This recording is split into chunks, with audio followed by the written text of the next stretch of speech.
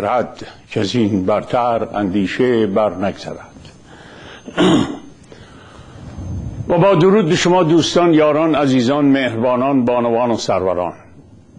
درود به شما ایرانیان. ایرانیان پراکنده در پهدشت گیتی و ایرانیان گرفتار. در چنگ دزدان قاتلان آدمکشان قوادان قاچاقچیان بی پدر و مادران بی ناموسان امامداران بی امامگان ریشداران و بی ریشان و دزدان و دزدان و دزدان. ادهی در ایران حکومت درست کردن به نام حکومت دینی که این حکومت دینی پایهاش استوار بر دزدیه. این دین که اینها مدعی نمایندگیش هستند. 1400 سال پیش از طرف الله به محمد ابن عبدالله ابلاغ شد و امروز بازماندگان و وارثان محمد ابن عبدالله در کشور ایران حکومت دینی درست کردند که به نام الله مشغول قارت و چپاور و دزدی باشند. چون الله گفت برو بدزد برو قارت کن برو مال مردم رو بخور به زن بچهش تجاوز کن 20 درصد واسه من بفرست بالا. اینا با الله یه قرار دیگه دارن. 20 درصد الله هم میفرستن فلسطین. شاید هم 50 درصد. برای این کار رهبر باید دزد باشه اکبر باید دزد باشه. سه تا طبیله که در کشور ایران به نام طبیله های خبرگان و تشخیص و شورا هست بایستی همشون دزد باشن امامه در امامه دزد ریش در ریش دزد. قوه هاشون که اسم فقط اسمی هستن باید دزد باشن مغننه غذاییه و مجریه. کلام که سرش می‌ذاره اونم مثل همون پاسدارای دزده. هیچ فرق نمی‌کنه. دزدم. اینها برای اینکه این دزدیشون رو در این حکومت دینی ادامه بدن سردارش دزده رئیس جمهورش دزده هیئت دولتش دزده قاضیش دزده همه دزدند. و برای اینکه دزدی رو بتونن شرعی کنن بایستی اسلام ناب محمدی رو پابرجا نگه دارند و وقتی اسلام پابرجا بود اینا اجازه دزدی دارن اجازهشون هم الله داده. هرچی هم از اون الله کم دارن یه الله زیر زمین دارن. اون هفت طبقه بالای آسمونه این هفت طبقه زیر زمینه. تو چاه ها میچرخه. اینا هم صبح به صبح میرن تو چاه می‌خورن میان بالا میگن با امام زمان بودیم. درود به شما ایرانیان با هر تفکر سیاسی هر باور مذهبی و هر گویش.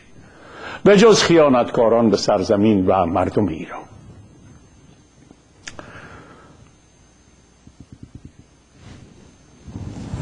من این رو زدم. من باز فکر کردم که بلنگو نزدم. دیگه داریم پیر میشیم یواش یواش. امروز روز جمعه است.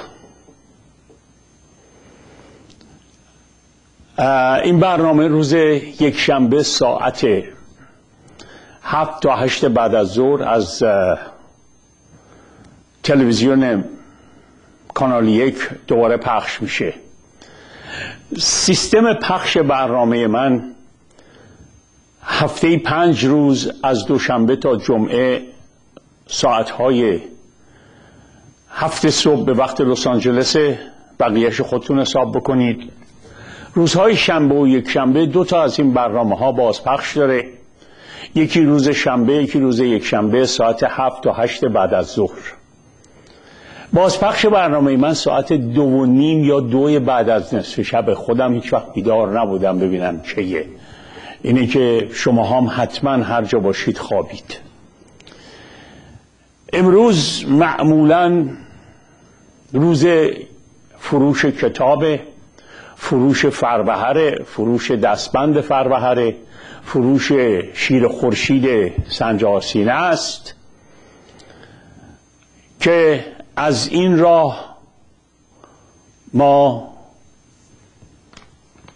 برنامهمون رو پر می‌کنیم و سعی می‌کنیم قسمتی از مخارجی که آقای همایون برای ایر برای این ساعتهای من داره می‌کنه بپردازم. اگه همش بخوام بپردازم خیلی زیاد میشه.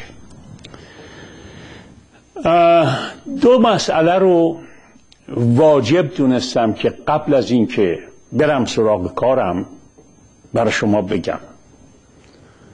یه مسئلهش که اصلا مسئله روز امروز مسئله این جنگی است که در خاور میانه بین اسرائیل و غزه و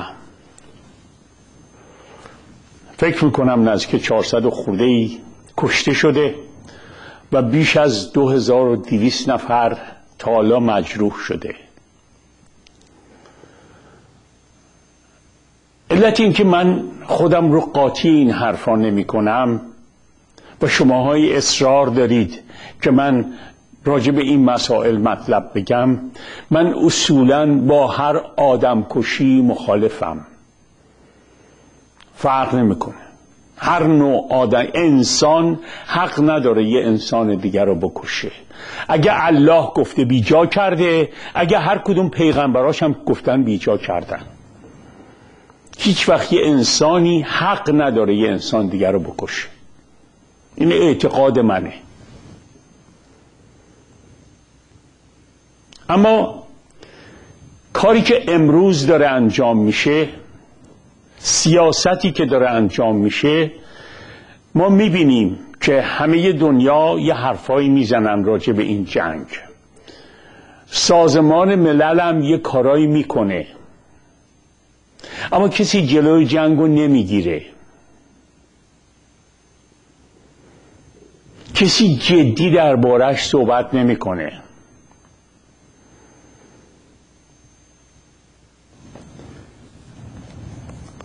پیدایش این جنگ اینجوری که ما شنیدیم. چون آخرین خبری که روز پنجشنبه روز اول سال بود از سی ان شنیدم. گفت ظرف 24 ساعت گذشته نمی‌دونم 42 تا یا 62 تا راکت از غزه به طرف کشور اسرائیل پرتاب شده. کشور اسرائیل مدعیه که حماس مرتب موشک پرانی می‌کنه. راکت میفرسته توی مراکز مسکونی اسرائیل و آدما رو می‌کشه. اینها رو جمع کرده و الان برگردونده و داره اونجا رو بمباران می‌کنه. اینا چیزایی که هم من شنیدم هم شما شنیدید هم جاهایی که راجبش حرف می‌زنن یه عده میگن تقصیر اینه یه عده میگن تقصیر اونه همشون هم میان میگن ما محکوم می‌کنیم. از هیچ کدوم اینا شما نشنیدید که حماس از کجا موشک میاره. این راکت ها رو کی به حماس میده؟ نه کشورهای عربی راجع به این حرف می‌زنن. نه کشور ایران راجع به این حرف می‌زنه. نه امریکا حرف می‌زنه. نه انگلیس حرف می‌زنه. نه فرانسه حرف می‌زنه. هیچکی نمیگه این راکت ها از کجا میان. یادتونه وقتی هر اتفاقی میافتاد می‌گفتم من پولش از کجا میاد. یادتونه تو پارس که بودم می‌گفتم که اومدن پول بدن ساعت منو بخرن. شماها باور نمی کردین الانم کسی سوال نمی‌کنه پولش از کجا اومده. این مسئله خیلی مهمه. یعنی شما اگر به ریشه کار برید و وقت به یه جاهای دیگه می‌رسید. این پولش از کجا اومده؟ همون حرفی است که من الان می‌زنم. این راکت ها از کجا اومده؟ این راکت ها رو کدوم کشور به حماس فروخته؟ حماس از کجا پول ورده راکت خریده؟ اینا رو کسی حرف نمی‌زنه. می‌دونین چرا؟ صلاحشون نیست. برای اینکه بازم باید این ماجرا ادامه داشته باشه. اونا بفروشن به جمهوری آخوندی حکومت دینی یواشکی بفرسته به حماس. از مثلا صد تا موشکی که میفرسته پنجاه تاش گیر بیفته پنجاه تاش برسه دست اونا. چون اون کسی که داره پول می‌بره داره پول می‌بره. چند نفر تو اسرائیل کشته شدن یا چند نفر توی غزه کشته شدن کسی مربوط نیست.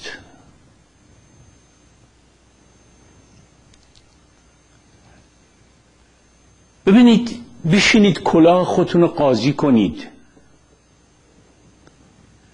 در عرض این مدت آیا شما از کسی شنیدید همس این راکت ها رو از کجا میاره؟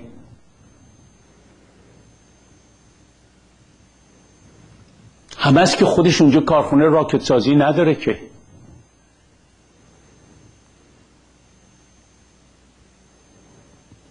خب راجب کجای این سیاست من بیام حرف بزنم؟ اگه قصدتون اینه من این حرفا رو بزنم خودم رو گیر یک کسای دیگه بنزم غیر حکومت دینی نمی کنم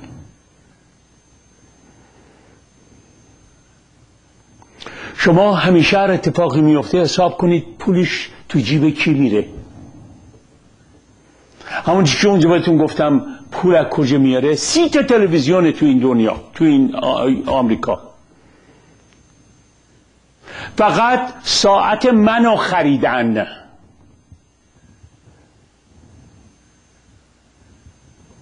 این چه معنی میده؟ من اینقدر مهمم. خودم نمی‌دونستم اینقدر مهمم.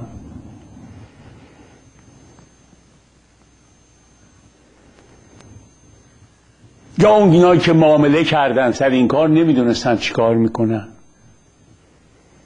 عزیزان همه حرفا گفتنی نیست.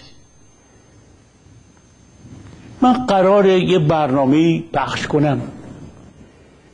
تا اونجا که زورم برسه این کار رو می‌کنم. وقتی هم نتونستم نتونستم دیگه. خودم کنار نمیشینم ولی اگه کنار نشوندنم اگه همه رو خریدن وقت من دیگه کاری نمی‌تونم من که نمی‌تونم برم برای خودم تلویزیون درست کنم که حرفامو بزنم که. بعدم من بنز کافی گفتم احتیاجی نیست. واقعا دیگه احتیاجی نیست.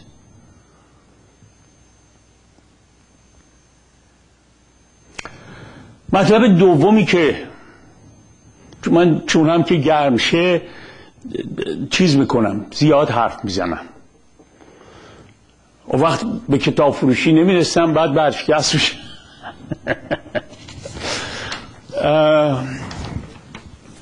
خوبی کار اینه من با شماها رو درواسی ندارم من راحت.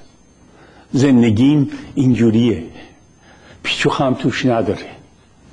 همه چیزم هم همه می‌دونن. این شعری هست در فارسی میگه ببری مال مسلمانو. چون مالت ببرند بانگ و فریاد براری که مسلمانی نیست. آقایی که همتون ممکنه بشناسینش دکتر محمد ملکی. این آدم شخصی بود که انقلاب فرهنگی رو درست کرد دانشگاه و این و سروش لعنتی پشت رو کردند یعنی علم رو از دانشگاه بیرون کردند. نوکر خمینی شد با سروش دست به یکی کردند و علم رو اولین رئیس دانشگاه خمینی بود.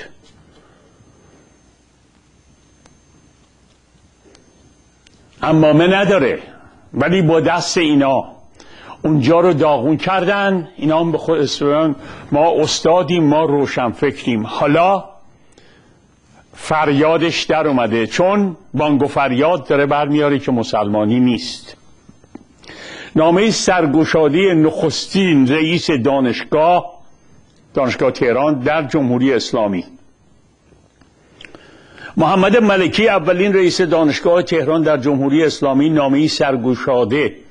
خطاب به علی خامنه ای رهبر جمهوری اسلامی نوشت او در این نامه از جمله نوشت.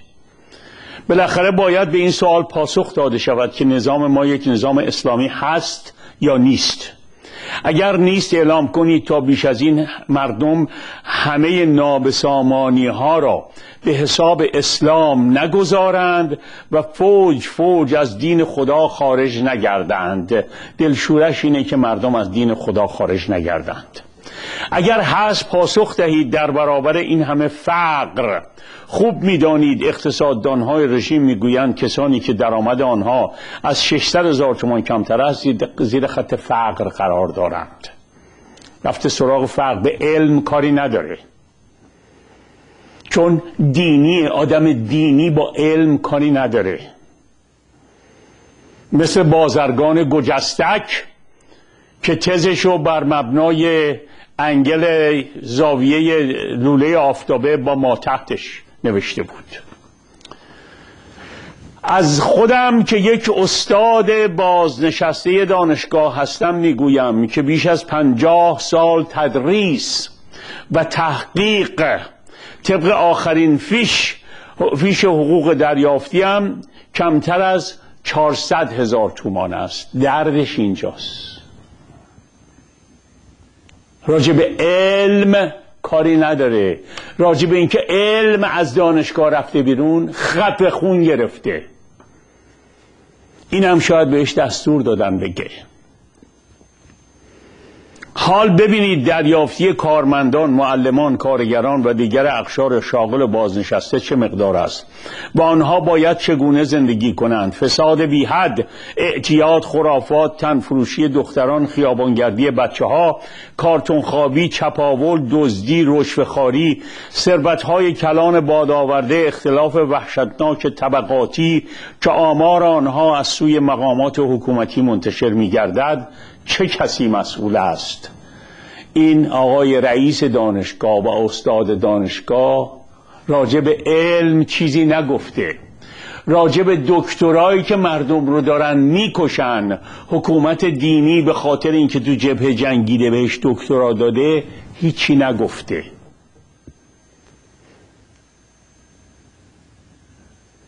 فقط اسلام و مسلمانی و کسی از دین بیرون نره و به مردم نون به دین بخورن. که بیان نماز جمعه. چرا دولت های مورد حمایت؟ شما به جای شعارهای توخالی و مردم فریب و نخنما شده حقایق را نمی‌گویند. چه شد آن آزادی و برابری و عزت و نیک فرجامی که قرار بود نظام اسلامی منادیان باشد؟ از خودت بپرس آقای محمد ملکی. اون وقتی که انقلاب فرهنگی به وجود آوردی اگر فرهنگ نباشه ملت تو سریخور و بدبخت و فقیر و معتاد میشن آقای استاد دانشگاه اگر تو نمی‌فهمی کی باید بفهمه؟ کجاست آن دانشگاه های اسلامی که می‌خواستید الگویی باشد برای دانشگاه های مبارک اسلامی؟ همونیست که تو ساختی. ببری بال مسلمان و چون مالت ببرند بانگ و فریاد براری که مسلمانی نیست. جای بازرگان گرفتی. چرا این همه دشمنی با دانشجویان و دانشگاهیان؟ پس آن همه ستم و کشتار دانشجویان و استادان در دهه شست چگونه است که هنوز بسیاری زندانی های سیاسی عقیدتی را دانشجویان تشکیل می دهند اصولا دانشگاه را برای چه می خواهید این سوال از خودتان بکن.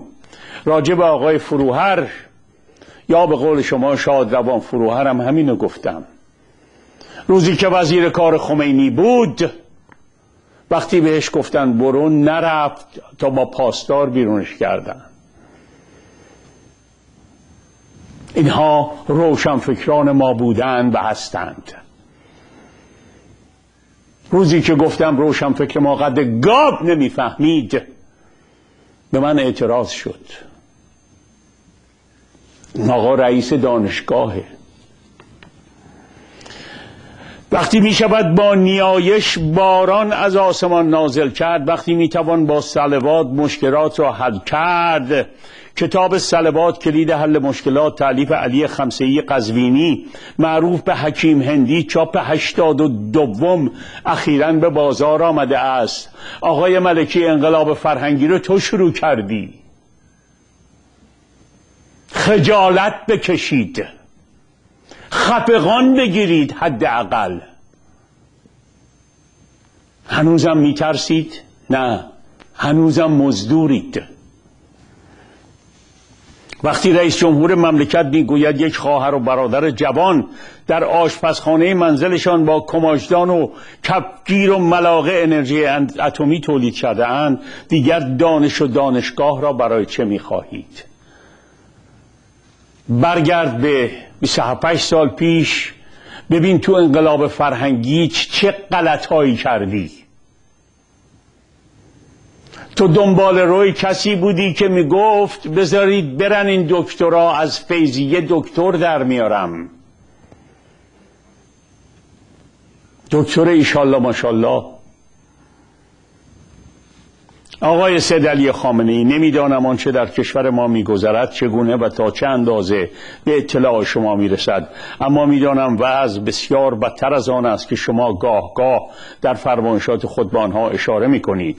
احتمالا افراد بیت و دوستان و نزدیکان به شما می‌گویند که اکثریت غریب اتفاق مردم طرفدار رژیم هستند. گول این حرفها و تظاهراتی را که صاحبان زر و زور و تزویر به راه میاندازند نخورید.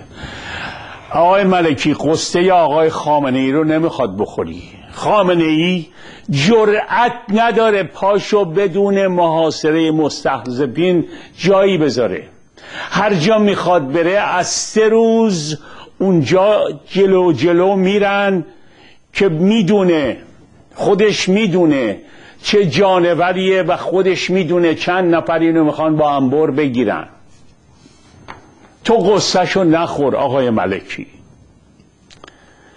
بیایید برای نجات کشور و ثبت در تاریخ با استفاده از اختیاراتی که قانون اساسی طبق بند سه از اصل یکصد دهم به شما داده فرمان یک همه پرسی در مورد نظام ولایی را با تمام شرایط انتخابات آزاد و شفاف صادر فرمایید.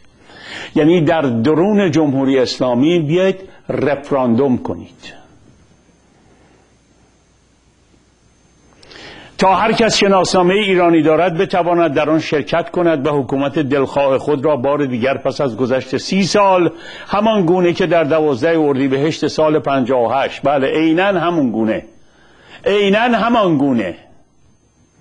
چهار تا پاسدار بذارین اونجا هر کی نفس کشید خفش کنه. انتخاب نماید تا معلوم شود چند درصد مردم طرفدار نظام هستند. برای اینکه دشمنان ملک و ملت حرف و حدیث نسازند از سازمان های بین المللی و حقوق بشری دعوت کنید بر آن نظارت کنند. حتما هم اون سازمان ها در انگلیس باید باشند جایی که نباید باشند. چون اونا ناظرین خیلی خوبی هستند. دو راه داره دو حالت داره. به قول اسپانیا دو حالت دارید. یا اینکه بهش گفتن اینو بنویس پایه یه رفراندوم رو را بنداز. همون رفراندومی که رفسنجانی چهار پنج سال پیش می‌خواست را بندازه. یا اینکه میگه چهارصد هزار تومن کم همه بیشتر به بدین.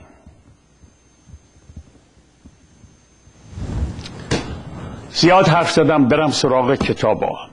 من دو تا کتاب زیاد تبلیغ می‌کنم. یکی تولدی دیگر شجاع الدین شفاست که دوستانم واقعا یعنی دو تا کتاب من پرفروشترین کتابای من قرآن و تولدی دیگر. انصافا همه این دوتا رو خیلی خوب می‌خونم. این کتاب نگاهی نو به اسلام کتاب قطوریه کتاب پرورقیه. حدود 550 صفحه است. تو این کتاب آقای دکتر مسعود انصاری اون کارهایی رو که فرض کنید آقای کسروی کرده نکرده به قول ما بچه پایین شهری ها قاپش رو شق انداخته. راحت حرفش زده.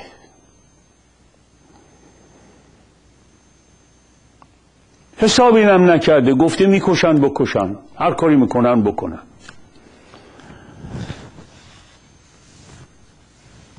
فصل های زیادی داره این قرآن. من بخش اول از فصل دوم رو یه مقداری براتون می‌خونم. بعد دو تا پاراگراف دیگه هست راجع به دو مسئله کوتاه کوتاه براتون می‌خونم چون وقت ندارم من همه کتاب براتون بخونم.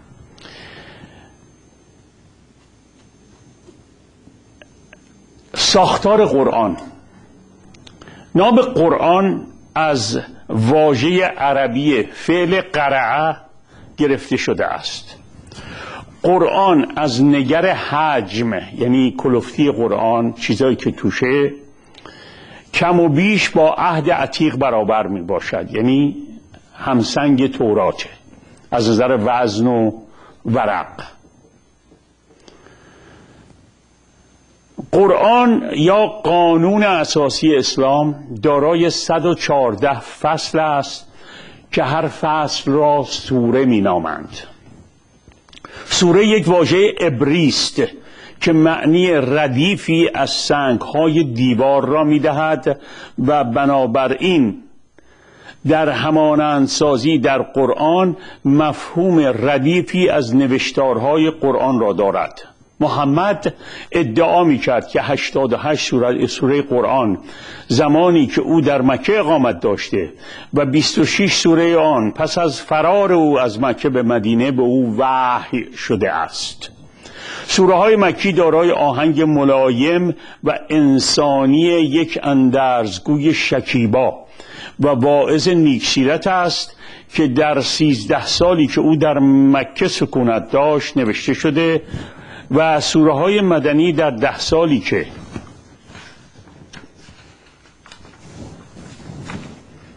او پس از فرار مکه در مدینه به فرمان روایی رسید نگارش یافته است. سوره های مدنی برخلاف سوره های مکی سخن از کشتار بیرحمانه گردن زدن و بریدن اعضاء بدن کافران این آیه آیه 61 از سوره 33 و ملعونین میراند. نکته جالب آنجاست که بسیاری از سوره های انسانگرانه مکی بعدها به وسیله سوره های نرمش ناپذیر و خونریز مدنی نسخ شده است. برای مثال گفته شده که آیا که آیه پنج مشهور سوره توبه می‌گوید بت ها را هر کجا یافتید بکشید. شماره 124 آیه را که فرمان تحمل نرمش و بردباری می‌دهد نسخ کرده است. یعنی سوره پنج ناسخ آیه پنج سوره توبه ناسخ آیه 124 همون سوره است. یکیش تو مکه اومده یکیش تو مدینه. گفتم خورده خورده براتون می‌خونم. در ادامه میگه محمد نویسنده قرآن از اینجاست که سروش و اکبر گنجی هم اومدن گفتن که قرآن نوشته محمد اللهی در کار نبوده. محمد نویسنده قرآن با نخوت و غروری نابجا کرات این کلمات را این کتاب را کلمات الله شناختگری کرده است.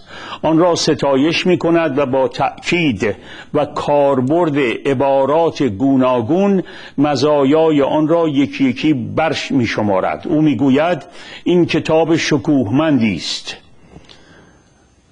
آیه 87 سوره 15 که بر روی لوحی محفوظ. آیه 22 سوره 85 در مخزن کتب آسمانی باز دوباره چهار سی و چهار. نقش بسته است. او افزاید این مطالب. مطالب این کتاب به هیچ وجه تقلید پذیر نیست. خیلی آیه هاست اینجا. اگر این کتاب رو بگیرید بخونید با قرآن هماهنگش بکنید اون وقت می‌بینید که چه اتفاقاتی خواهد افتاد. و قسمت آخر که آیون به من دیروز ایراد گرفتند که گفتم الله در برآوردن نیازهای جنسی حضرت رسول خیلی عجولانه کار می‌کرده. در صفحه 83 تلاش های سایانه قرآن برای برآوردن نیازهای جنسی محمد. شماره شماره 20 آیه از هفتاد و سه آیه سوره احزاب قرآن به زنان محمد و چگونگی مشروع نشان دادن ازدواج های او با زنان گوناگون و رفتار او با زنان حرمسرایش ویژگی داده شده است. این آیه ها ازدواج او را با همسر طلاق داده شده پسرخانده اش مشروع برمی شمارند طبقات گوناگون زنانی را که او می‌تواند با آنها ازدواج کند یکی یکی برمی شمارند به همسران محمد تکلیف می کنند که باید از او فرمانداری فرمانبرداری کنند. و خود را با چادر بپوشانند و همچنین به مسلمانان دستور اکید می دهد که پس از مرگ محمد نباید با همسران او ازدواج کنند. آیه های دیگر این سوره به پیروان محمد چگونگی رفتار در برابر پیامبر الله را آموزش می دهد و ورود آنها را به خانه او بدون اجازه اش من می کند آیه 56 از سوره احزاب هشدار می‌دهد هر کس محمد را رنجانیده و یا با او به شایستگی رفتار نکند به عذاب ابدی محکوم خواهد شد. این قرآن و الله مواظبت می‌کردن. این کتاب اسمش هست باز فردا نگین اون کتابی که میخوندی اون کتابی که نمیخوندی. اقلا بگین رنگش آبیه. تلفن می‌کنی سه روز چهار روز دیگه. یه, یه کتابی میخوندی. من همین کتابا رو می‌خونم. نگاهی نو به اسلام. رنگ کتاب آبیه. یکی از کتاب هایی که هم تاریخیه هم مذهبیه و مقایسه دو تا دو فردی که در تاریخ جای پاشون هست. و کسی نمی‌تونه منکرشون بشه. شما در تاریخ جای پای موسی رو پیدا نمی‌کنی جای پای عیسی رو هم پیدا نمی‌کنی. در تاریخ نگفتم در دین ها در دین هستن. در تاریخ نیستن. اگه همچی تاریخی دارید که تاریخ نه تورات نه انجیل اونو تاریخ رو برای من بفرستید من اونو براتون می‌خونم اینجا. اگرم ندارید خواهش کنم مزاحم من نشید. بخش اول شرح زندگی کوروش بزرگ و محمد ابن عبدالله. شرح زندگی کوروش تولد کوروش جوانی کوروش شرح زندگی محمد ابن عبدالله. تولد محمد ابن عبدالله جوانی محمد ابن عبدالله. بخش دوم رفتار کوروش بزرگ و محمد ابن عبدالله با یهودیان. رفتار کوروش بزرگ با یهودیان پیشینه تاریخی بابل. تسخیر بابل به وسیله کوروش آزادی یهودیان به وسیله کوروش و فرمان برگشت آنها به اورشلیم. فصل چهارم رهایی محمد ابن رفتار محمد ابن عبدالله با یهودیان قلع و قمع یهودیان به وسیله محمد تبعید طایفه یهودی بنی قینقا تصرف به اموال و دارایی های آنها قتل کعب ابن الاشرف اخراج طایفه یهودی بنی نظیر از مدینه و تصرف اموال و عراضی آنها اسارت طایفه یهودی بنی مسلق و تصاحب اموال و عراضی آنها جنگ خندق و قتل عام مردان طایفه یهودی بنی قریزه و اسارت زنان و فرزندان آنها اخراج یهودیان ساکن خیبر و تصرف اموال و دارایی آنها از خیبر. بخش سوم. زن در زندگی کوروش بزرگ و محمد ابن عبدالله. رفتار کوروش با زنان تسخیر ارمنستان و رفتار کوروش با دختر پادشاه ارمنستان و زنان و خانواده او. رفتار کوروش با دختری که به وسیله پدرش گبریاس به او هدیه شد.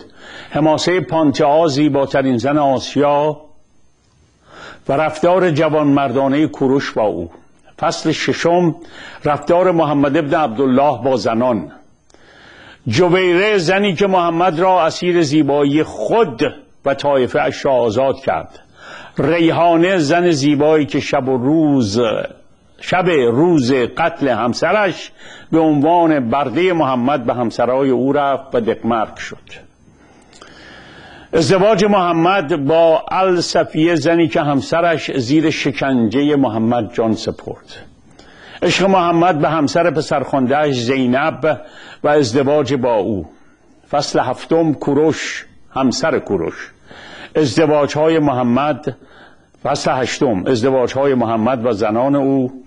احکام قرآن درباره زنان محمد زنان عقدی و رسمی محمد سیغه های محمد سایر زنان محمد. اگر کامل اینو بخواین همسران موهوبانه همسران کنیزان و موهوبات محمد نوشته مهدی شمشیری. کاملا راجع به این مسائل توضیح داده. در بخش چهارم در گذشت کوروش بعد رحلت محمد ابن عبدالله بعد نظر تاریخ نویسان و نویسندگان خارجی درباره کوروش. گزنفون تورات گیرشمن کنت دگوبینو دیودورس سیسولوس هرودوت افلاتون فلایگل پرسی سایکس پرسی سایکس جورج راولینسون ادوارد میر ویل دورانت و درباره شخصیت محمد ابن عبدالله پرهیزکاری محمد عادات محمد در خوردن و آشامیدن عادات محمد در مسافرت عادات محمد در همخوابگی عادات محمد در نظافت شخصی عادات محمد در پیشگویی عادات محمد در سلام و تعارف عادات محمد در عطسی کردن و خمیازه کشیدن روش محمد درباره تغییر رویا تعبیر رویا ببخشید. تجویز و دربانهای پزشکی محمد درمان بدچشمی عادات محمد اینا دیگه بعد کسانی که درباره حضرت محمد نوشتند مونتگومری وات دانته سیل دوبولن ویلیرز ساواری ولتر دیدرو تاماس کارلایل تور آندره گوستاویل الویز سپرینگر ویلیام مولیر ویلیام مویر مارگولیوت تئودور نورتکه جان آرچر ماکسیم به هر صورت. حالا من بخوام بخونم وقتتون رو می‌گیرم. این کتاب کوروش بزرگ و محمد ابن عبدالله. اگر اینو خواستین اردر بذاری بگون این کتابی که دورنگه. نشونی میدم که باز دوباره گیج نشیم با هم دیگه. آقای مسعود انصاری یازده کتاب نوشته.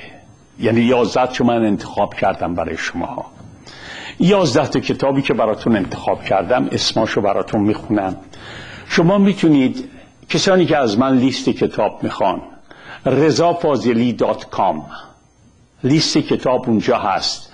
روی قسمت کتاب کلیک می‌کنید عکس کتاب ها میاد یک کلیک دیگه می‌کنید لیست کتاب ها میاد.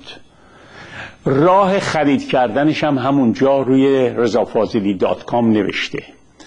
تا 25 روز قبل برنامه رو با کیفیت تلویزیون شما می‌تونید ببینید. رضافاضلی dot com. اگر هم اشکالی داشتید تلفن من روی پرده هست می‌تونید بعد به من زنگ بزنید. این کتاب زن در دام ادیان ابراهیمی آخرین کتاب آقای دکتر مسعود انصاریه. کتاب هایی که من انتخاب کردم از روی فهرست خودشون می‌خونم. بازشناسی قرآن کورش بزرگ محمد, محمد ابن عبدالله که الان گفتم. شیعه و امام زمان روز قیامت در اسلام. الله اکبر نگاهی نو به اسلام. کشتار شست و هفت. پول خون اسلام و مسلمانی قرآن و حدیث در تصویر به صورت کارتونه. فکر می‌کنم همه کتاب ها همینایی بود که براتون خوندم. به هر صورت یازده کتاب لیستش هم در همون چیزی که گفتم یک کتابی دیگه داره ایشون کسانی که احتیاج دارن کتاب رو به انگلیسی بخونن. هست Psychology of محمد ترجمه نگاهی نو به اسلام به انگلیسیه. اگر خواستید اون رو استفاده کنید. ساعت من خیلی سریع داری میگذره. باید تلگرافی براتون بگم. از آقای مهدی شمشیری کتاب ناگفته ها درباره خمینی خیلی داره خوب استقبال میشه. من چیزها هم براتون میگم. یعنی اونایی که آقای شمشیری کتاب های زیادی دست من داره. من می‌تونم بهتون معرفی کنم. پنج تا کتاب راجع به مصدق. یک کتاب راهن سرتاسری ایران و مصدق هست که یکی از این پنج تا کتاب دو تا کتاب هستش. شرح احوال و زندگانی محمد. نوشته شمیم و رشدیه یه همچی اسمیه. یک کتاب دیگه هست به نام که آقای مشیری نامی نوشته مشهدی مشیری به نام افسانه قدیر خم. قشنگ همه رو توضیح میده با اتکا به کتب اسلامی. کتاب 23 ساله که من هر دفعه براتون دارم میگم. کتاب 23 سال یکی از خوندنی ترین کتاب هاست. کتاب علی نماد شیعگریه داشتم این کتاب ها. اینجا کتاب 23 سال اینجاست. نوشته آقای علی دشتی. دیروز پریروزم بود. این مقدمه آقای بهرام چوبینه رو براتون خوندم. کتاب 23 سال که به اشکال گوناگون در ایران و به ویژه در خارج از کشور چاپ و منتشر شده یکی از جنجالی ترین آثار تحقیقی در ادبیات دینی یکصد سال اخیر به شمار می رود کتابی است که آقای آله دالفک درباره علی ابن ابی طالب نوشته. علی نماد شیعگری این کتاب رو بخونید افسانه قدیر خم رو هم بخونید. یه کتابی هم هست در ایران پخش شده اگر تونستید بگید از ایران براتون بفرستن علی مرد نامتناهی. علت این که من اینه میگم این صفات علی رو بی پرده نوشته. علی مرد نامتناهی صفات علی رو خوب نوشته. علی نمی‌دونم همونی که حلقه پادشاهی رو به گدا میده و مردی که خداست و خلاصه همه اون حرفا تو علی مردنامه اونم بخونید اینم بخونید خودتون قضاوت کنید. فکر نکنید هرچی من میگم درسته یا هرچی کتاب میگم درسته میگه درسته. خودتون ببینید با خیردتون کدوم یکی نزدیکتره. این کتاب گاتا ها رو بخونید. و ببینید زرتشت زرتشت چی میگه؟ نه زرتشتی چی میگه؟ ببینید زرتشت چی میگه؟ کتاب گاتاها این شرح زندگانی محمد که گفتم خوشبختانه اینجا دارمش. شرح حال و زندگانی محمد پژوهشی از شمیم و رشدیه با همکاری نادر کوشا. این کتاب بسیار تحقیقیه. بدون حب و بغض راجع به زندگی محمد از 300 سال قبل از تولد حضرت محمد نوشته. کتاب هایی که در چیز هستش در اون پکیج مال آقای شفا به این صورت این یه دونش آوردم چون جا نداریم دیگه اینجا. هفت کتاب این هفت کتاب پکیجش 300 دلار به اضافه خرج پست در هر کجا که باشید خرج پست همونجا حساب میشه.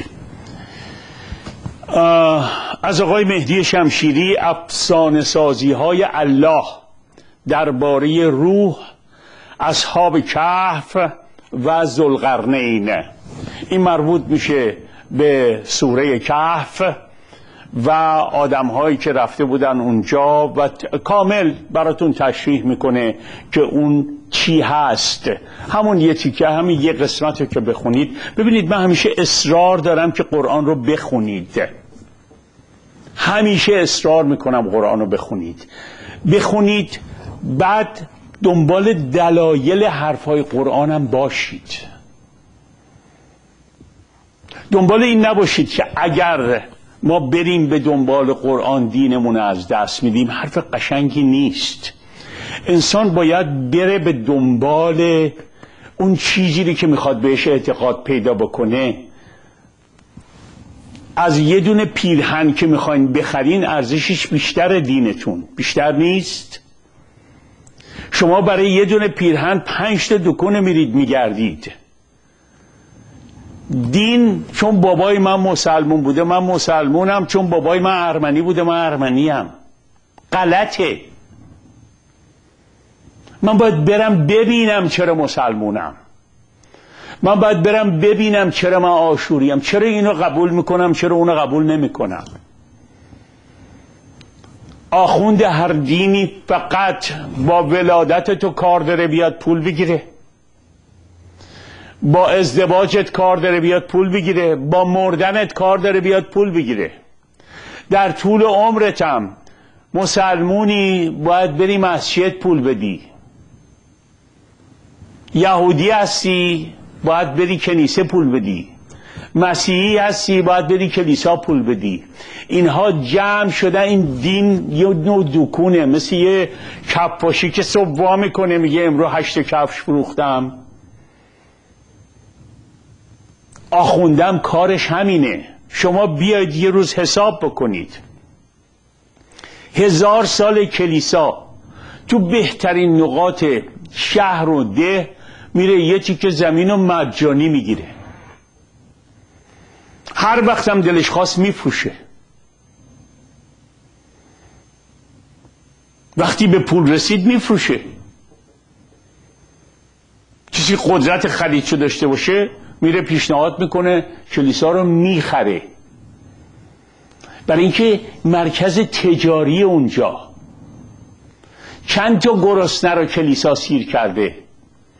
چند تا گرسنه رو مسجد سیر کرده. چند تا گرسنه رو حالا یهودیا خیلی به هم می‌رسن. گوین که داخل هم دیگه سر همون کلا می‌ذارن ولی بیرون یه مرتبه اتفاقی بیفته می‌رسن به هم دیگه. بهایی ها خیلی به هم می‌رسن. دین جدیده. از نظر مادی ولی کوچکترین اشتباهی بکنه. کوچکترین اشتباهی بکنه کاری می‌کنن زن و بچه و همه کسش بهش حروم باشه. این قوانین قوانین ظالمانه است. اینا زوره من کاری به دین و مذهب ندارم. من کاری به این دارم که انسان به دنیا آمده آزاد آزاد باید زندگی کنه خودش حق داره هر کاری بکنه. ما یه حرف می‌زنم یادم میره. کمیته 300 این یک کتاب پرفروش داره میشه. بخونید دوستانی که خوندن تعریف کردن گفتن ما حالا می‌فهمیم تو حرفاتو از کجا می‌زنی. گفته نشده ها درباره خمینی مهدی شمشیری. آخرین کتاب هوشنگ معینزاده. ظهور حکایت من و امام زمان. داستانها و قصص قرآن به کوشش رضا فاضلی. از دوست عزیزم همامی رفشار آلاله مجموعه شعر با کاستی که خود شاعر شعراشو خونده. از آقای امیر نجات اسلام دیانتی که از نو باید شناخت. از آقای محپور شمسان نویافته هایی درباره مصدق. رضاشاه کبیر سفرنامه خوزستان. کتابی که از خود رضاشاه باقی مونده. زندگی نامه محمد مصدق از مهدی شمشیری.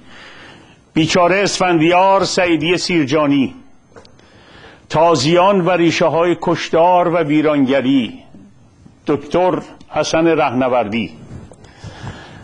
از آقای دکتر ملیک حسپیان که دیروز هم زنگ زده با ما تبریک سال نو رو گفته.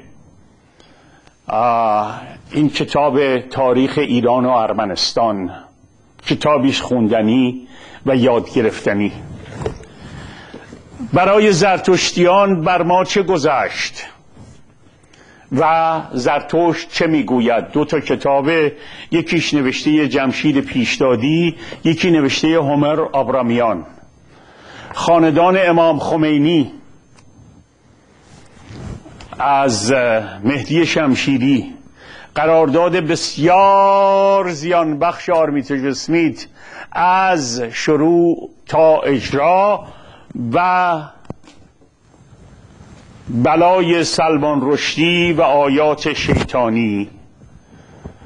خاندان مستوفیان آشتیانی از بالاترین میاد تا محمد مصدق به اضافه فربهر. فربهر یعنی فربهر طلایی و نقره‌ای و سنجاق سینه شیر و خورشید و دستمند نقره فربهر. چهار تا فربهر به شاویزونه. دیگه وقت ندارم اینا رو نشون بدم. به خوبی خودتون ببخشید. این واقعا مفته. حراجه. نمی‌دونم هر چی دلتون می‌خواد بگین. این بابا تشو جمع کرده در بیست دیگه بیشتر نمونده. خاک ناسپاس ده تا ویدیو توشه. این ده تا ویدیو رو سعی می‌کنم براتون بخونم. میراستاران کوروش شوله های پاس از قاجار تا خمینی باد سبا دو پادشاه یک سرنوشت تاجگذاری محمد رضا شاه زندگی شهبانو فرح انقلاب سفید شاه و مردم جشن های 2500 ساله مراسم ازدواج شاه و فرح. حدود 15 ساعت ویدیو 50 دلار به اضافه مخارج پستش. این برنامه روز یک شنبه تکرار میشه ساعت 7 تا 8 بعد از ظهر از همین تلویزیون. رضا رضا رضا فاضلی دات کام. برید اطلاعات بیشتری بهتون میده. تا دوشنبه صبح خرد نگهدار شما باد. اونقدر خوب و عزیزی که به هنگام وداع هی پماید که تو را دست خدا بسپارم.